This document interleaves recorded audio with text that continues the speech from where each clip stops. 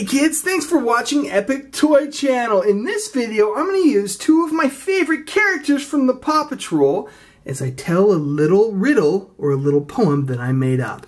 We're going to say that Marshall is the good boy in this story and Chase is the naughty one, okay? This story's not about them, but they're going to help me tell this story. Here we go. There is a boy who we both know who Santa always gave him coal. He was never nice, he was only rude. When his parents asked him things, he gave them attitude.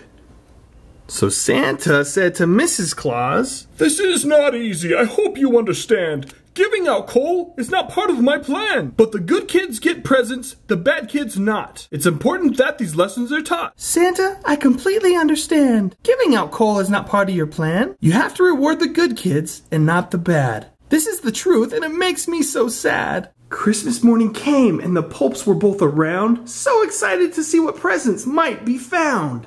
The good pup got an orange, oh, his favorite treat.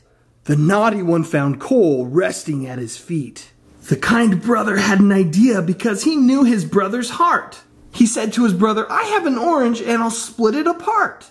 Half is for me and half is for you. It's important, brother, that you know that I love you. Santa gave you coal to remind you to be kind. So somewhere in your heart, goodness you must find. The bad attitude that you give our mom and dad makes your life difficult and it makes your family sad. You have been so kind to your brother of mine. People like you are truly hard to find. I'll remember this lesson and be good from now on. Your kindness changed my heart. It's made my heart so strong. So both brothers ate the oranges that they shared with one another. They had cannonball orange contests to see which was the strongest brother. I'd like to give a huge thank you to our pals Marshall and Chase from the Paw Patrol for helping me out with that story. Here's the thing, kids. You can be naughty or you can be nice. Another way to put that is you can be happy or you can be sad. Nice people, kind people tend to be happier than unkind people. And the cool thing about it is, it's all your choice. If you want to live a happy life, be kind to people. That's all it takes. Hey kids, thanks for watching the Toy Channel. We make toy videos every single day, and we have over 500 videos. So head on over to Epic Toy Channel, click subscribe, and we'll see you next time.